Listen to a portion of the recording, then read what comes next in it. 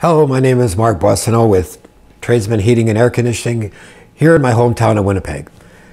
We get a number of questions from our clients when we're in their homes. The question I will be answering in this video is what size of furnace do I really need? In Winnipeg, uh, dating back to you know when furnaces were first being installed in in tract homes, uh, the builders would always play it on the safe side and provide you know, a, not only a furnace that would heat the home safely to minus 40 degrees, which is very much expected here in Winnipeg, um, but they'd just go a, a, little bit bigger and sometimes quite a bit bigger to be on the safe side. The cost of the equipment really wasn't a whole lot more, so it was a, a pretty much of a no-brainer for them to, to, to offer.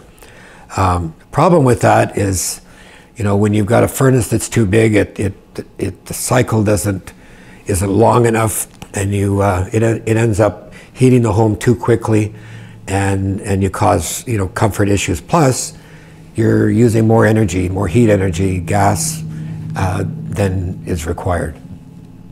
The size that you should have uh, you know you need to consider you know what has happened in that home over time since that the going by the furnace that was in there is definitely a mistake because it very much could be oversized. It probably is.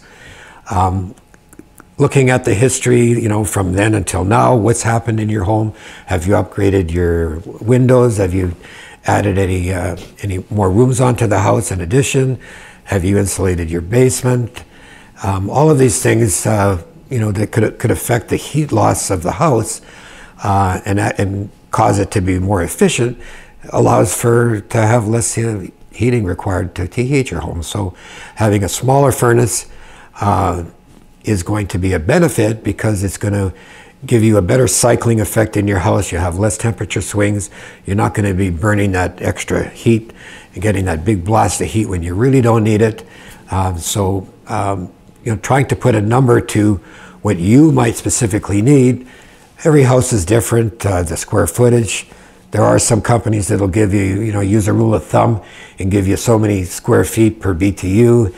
Um, we don't like to go there. Uh, you know, the, it, it's it's really guesswork if you're if you're going that route.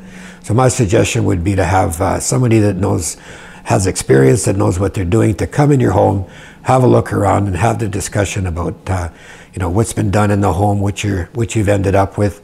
Your lifestyle also comes a little bit into play. Um, you know what you expect out of your furnace uh, as far as how fast it'll recover.